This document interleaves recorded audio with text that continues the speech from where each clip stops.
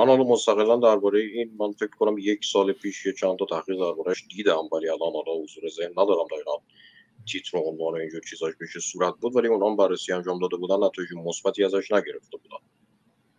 حالا به حال این یه بود داستانه یه بود دیگه هم می‌تونیم از این نظر بررسی بکنیم. پژوهش‌هایی که معمولا روی روابط جنسی متعدد توی افراد حالا نه در ازای پول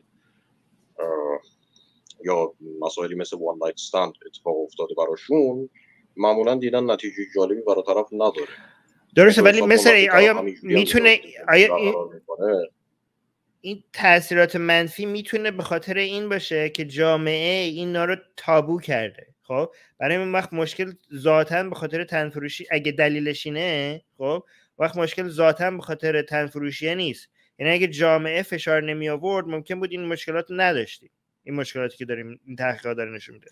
این مثلا اینجا جامعه ای که توش بررسی کرده بودن جامعه آمریکا بود. اونجا که دیگه فکر نمی کنم روابط جنسی متعدد اینقدر تا بود. تن فروشی تو آمریکا بشه شما کجا خبر ندارین؟ به شدت آمریکا؟ تن فروشی آره روابط جنسی متعدد رو من گفتم.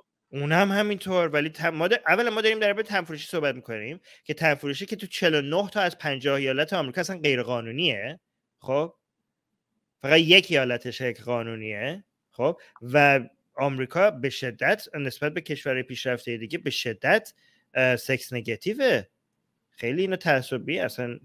شما با ایران مقایسهشون بکنین شاید خیلی مثلا به نظر روشن فکر اینا بیان.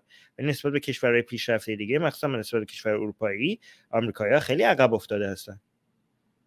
اتفاقا یه برنامه با خود سوزانا داشتیم در مورد همون سکس و شب در جامعه امریکا آرمین یادت بله شرم خیلی زیاده. آره, آره، درسته. تو آمریکا مذهبی اصلا